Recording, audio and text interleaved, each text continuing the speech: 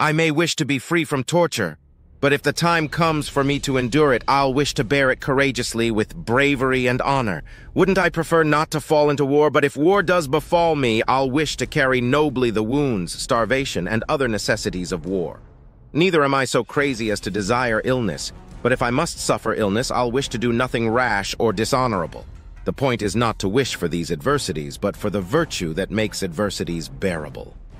Seneca President James Garfield was a great man raised in humble circumstances, self-educated, and eventually a Civil War hero whose presidency was cut short by an assassin's bullet. In his brief time in office, he faced a bitterly divided country as well as a bitterly and internally divided Republican Party.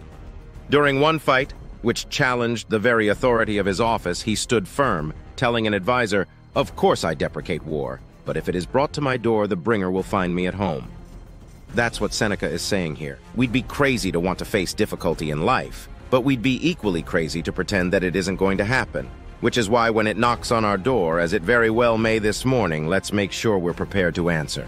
Not the way we are when a surprise visitor comes late at night, but the way we are when we're waiting for an important guest. Dressed, in the right headspace, ready to go.